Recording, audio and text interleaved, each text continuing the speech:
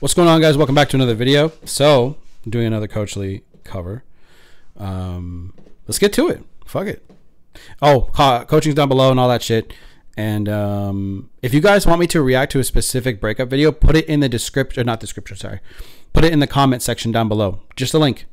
If YouTube doesn't allow you to for some reason, which I, maybe they might be, um, just say, you know, uh, YouTube isn't letting me. Uh, I'll, I'll, email you something like that, or or just email me. It's in, it's in the description box below. Um, I think they'll let you, um, but I think you have to write something first. So anyway, because I think people YouTube's trying to prevent just spam links. So I think you have to write something first, like, "Hey, Kyle, react to this video, please," and then put it down below, and uh, whatever. Okay, so go from there.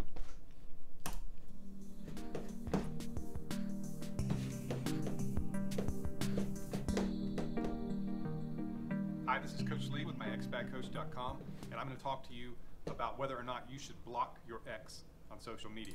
Okay, this video is extremely quiet from his end. Um, Please take a second and subscribe to my channel. So, I don't really have a way of boosting this, so you guys are going to have to listen uh, extra careful, crank it up.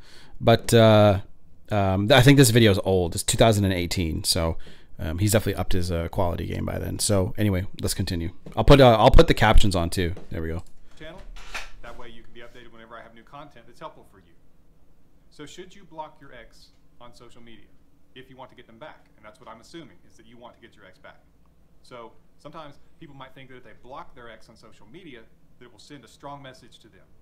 You know, I blocked her on Facebook, so now she knows that I don't want to mess around and I'm not interested in flirting with her or talking with her, or communicating with her, and therefore she'll want to get back together with me. That's I actually made a video about that already. Um, blocking, unblocking, and no contact, something like that. But uh, I already made uh, my own video. But um, again, if you look over here at this chart, okay, you're going to see what the force section says and the power section says. You blocking is a lot of most people are going to block because they're like, I'm going to get a rise out of the person. I'm going to get a reaction from them. Especially people that go and pose with pretty women and put it on uh, Instagram thinking that's going to do anything.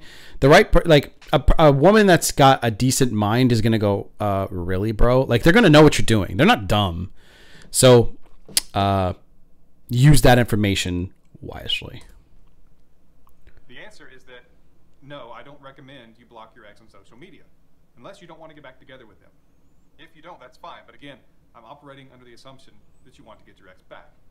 So there's several reasons why you should not block your ex on social media.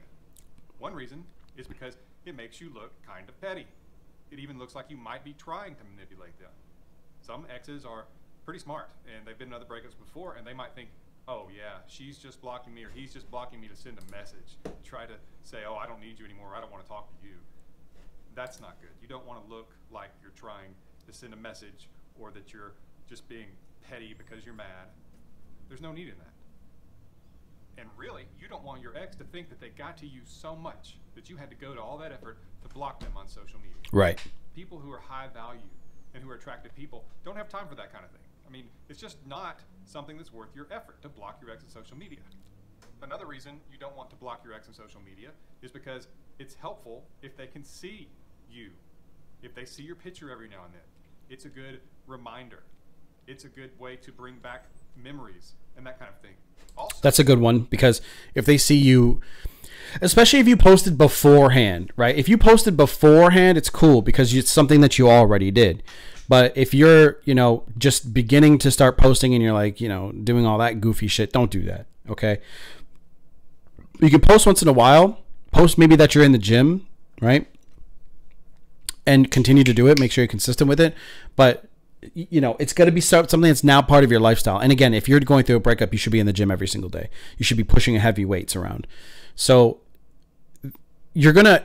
It's going to help if they, at their um, choice see you. And if you just block them or delete them, right? With some and sometimes I get some of you guys want to do that because you guys can't control yourselves. So, but you can un, un uh, you can mute them, okay? But you have to have the emotional self control to stop reaching out. You really do. And if you don't, this is the test. You have to start getting exercising that muscle because it's a muscle, okay? And you'll get stronger by doing it.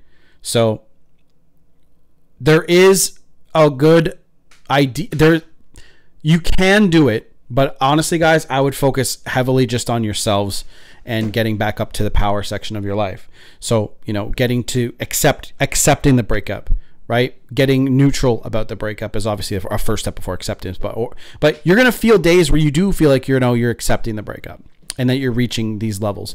But a lot of the times you guys are still down here, fearful, right? Trying to get them to reach out to you because you want them to hurt like like like they hurt you. I see that a lot.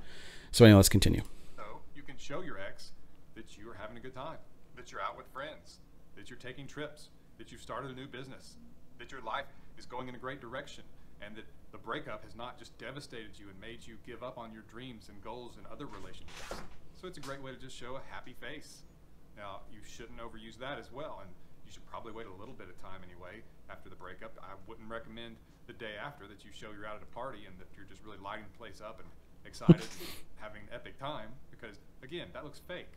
And your ex might even think, well, gee, if they're not a little bit hurt following the breakup, then they probably didn't care about me at all to begin with. Exactly. That way. While I always talk about showing strength, and maturity, and wisdom, and the will to move on, and just being passionate about life, that does not mean that you act like after this breakup you're just going to go out and celebrate. That doesn't make sense, and that's overdoing it.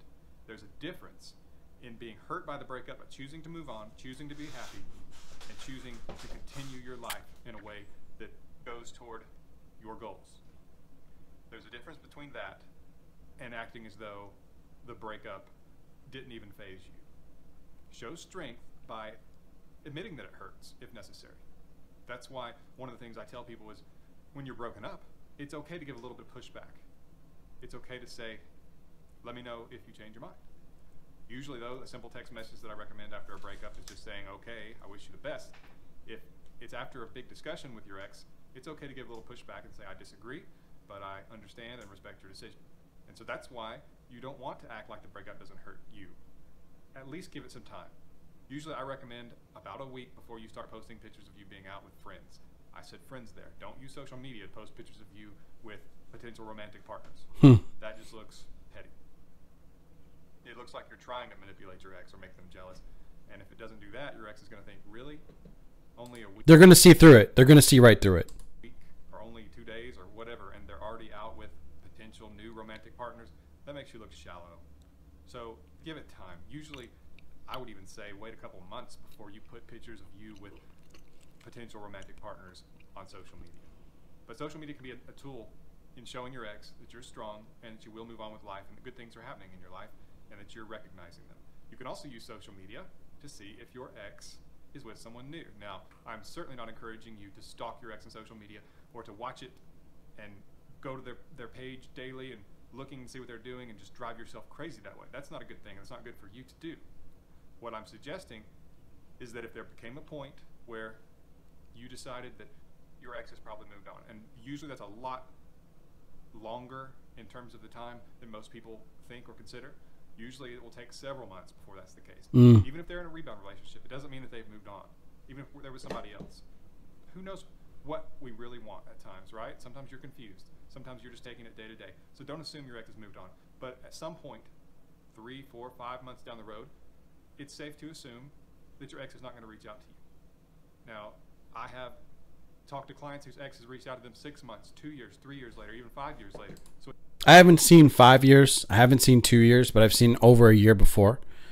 Um, I've seen uh, the, the next three days, right? They start doing coaching with me, and three days later, they're like, hey, uh, I fucked up.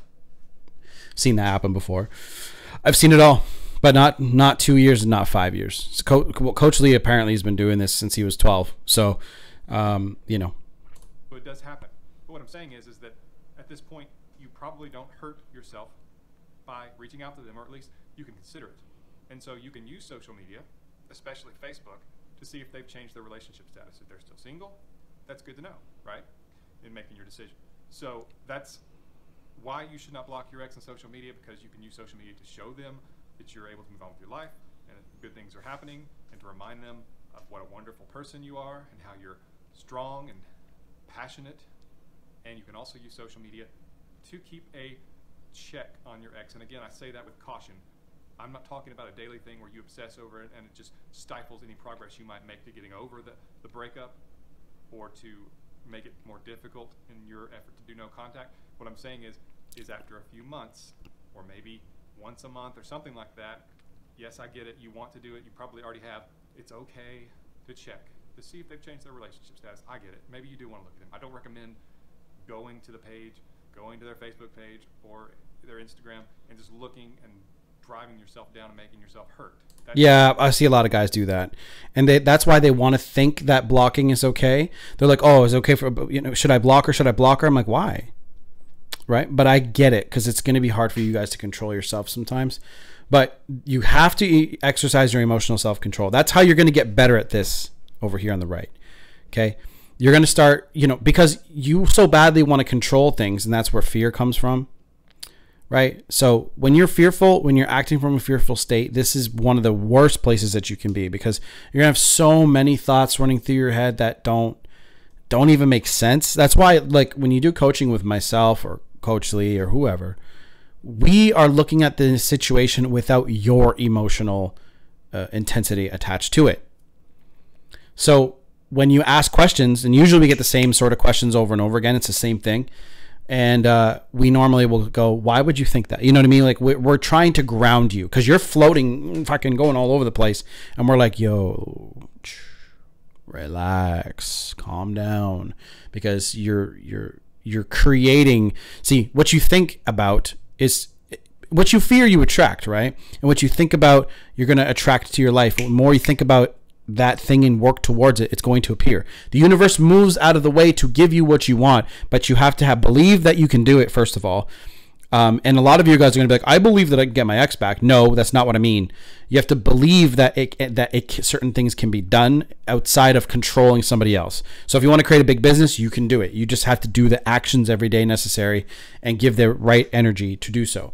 But you have to believe in it first, then take the actions towards it. So the one thing you can control is you and what you bring to the table to relationships, what you bring to the table to this world, what you, you know, what you do every day. That's what you can control. That way, when you're a better version of yourself, that way, then the people that are here see when you step out of orange and go to green, and from green to blue, and then blue to purple, you're going to bounce between some of these things just day to day living your life. Like you're not always going to be happy. You're not always going to be um, fearless. There's going to be times where you have some fear going on in you.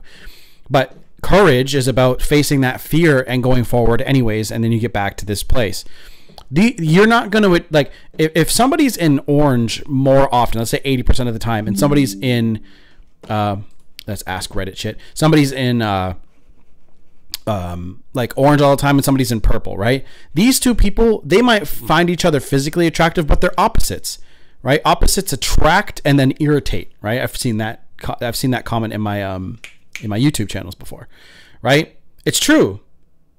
But but you're not you're, you're in here from blue to purple this can these two can stay together right? Because one is going to you know this person that's in blue let's say they're only in blue right? Just for the argument's sake.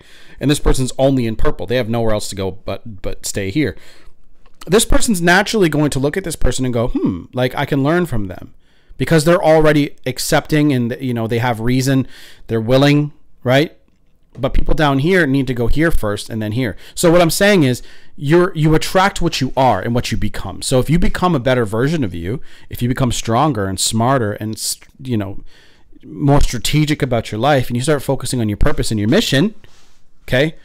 Relationships will fall into place where they need to be. You still do need to learn about attraction. You still need to know how that works. What to say to women, what to not say to women. And for ladies, what to say to men and what not to say. Because a lot of ladies are watching a lot of content from men giving advice to other men. And then ladies are applying that advice to women. Feminine energy is one thing and masculine energy is another. A lot of women will, will straight up just ignore people through text and shit like that and, and start acting like a man. And that's not what you guys need to be doing. Feminine energy is about bonding and connecting, and there's nothing wrong with that. Yes, like yes, it's okay to put out your your text because you're like, I really miss this guy. Okay. And if he's purpose driven and purpose focused, he's going to be happy. He's going to be like, oh my God, I'm so happy to hear from you. You know, as long as he's doing it correctly and this sets a date with you. And then you guys can, you know, bond and connect and then you guys can, you know, smack. So Anyway, let's finish up the video and then uh, we'll wrap this up. Not a good thing. It will make you more likely to break no contact or to just feel bad. What I'm saying is, is that at the appropriate time, it might be good for gathering some information to see if you should reach out. Because at some point, and that, that point is at a much later date than most people think, usually. I agree. To reach out. If they were in a relationship, it just would not make sense. So that's why you should not block your ex on social media. If this video has been helpful to you, please click the like button below. And also, please subscribe to my channel so that you can get updated when I have new content like this that can help you.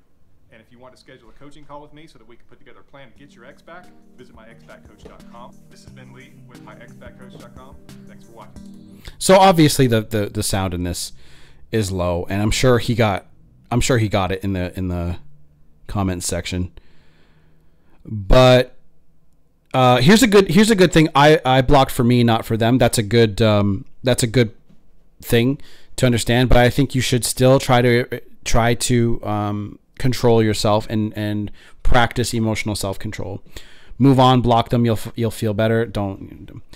Um, this this girl says I disagree with this video and think you should block on social media. What if your ex is needy or narcissist? And my ex says unless you block, they might show up and people may know.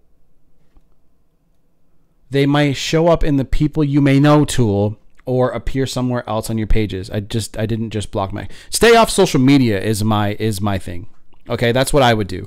That's what I have done in the past before. So um um but again, if you can't control yourself and you consistently try to continue to reach out to them over and over and over and over and over again, you're to have you're you're to have a harder time staying away from them. So what I would do is I would focus on um on